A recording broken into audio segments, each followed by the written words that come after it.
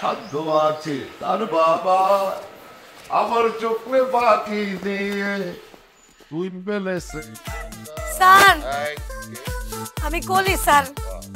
Sir আপনি আসলে ঠিক ছিলেন। আপনার কথা শোনা আমার দরকার ছিল স্যার। আজকে আপনার কথা না শুনে আমি ভুল করছি স্যার। কোন কথা?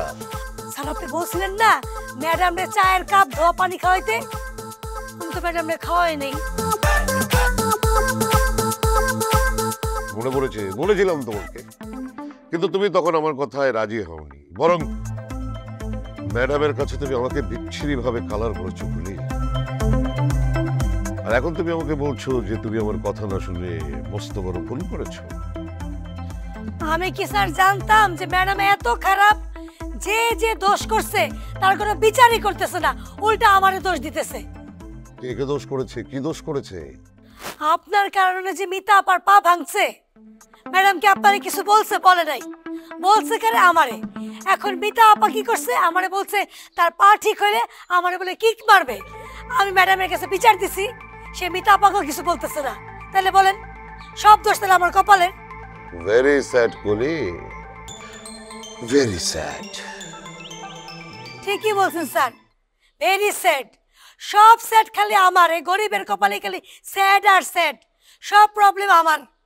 সবাই সব কিছু দোষ করবে কারও কিচ্ছু হবে না সব হবে আমার। তো এখন কি করবে? স্যার এক কাজ করেন। পিতা পারে যেমন দৌড়ানি দিছিলেন না আমার একটা দৌড়ানি দেন আমিও ঠাস করে যে পইরা পা ভাঙিয়ে ফেলাই। তারপরে হাসপাতালে বিছানায় শুয়ে আসিয়া আরাম করি আর ঘুমাই। তুমি তো তখন আমার শর্তে রাজি হওনি মিস কলি। আমিও তোমার শর্তে রাজি হব কেন? হব না। দেখছেন স্যার আপনিও আমার ভালো ছিলেন না। আমি গরিব তো গরিবের ভালো হোক কেউ দেখতে চায় না। তবে স্যার আপনার আমি একটা কথা কয়ে রাখি এই কলিরও দিন আসবে কলির একদিন ভালো পর্যায়ে যাবে তখন কলির সব কিছু ভালো হয়ে যাবে। দেখেন।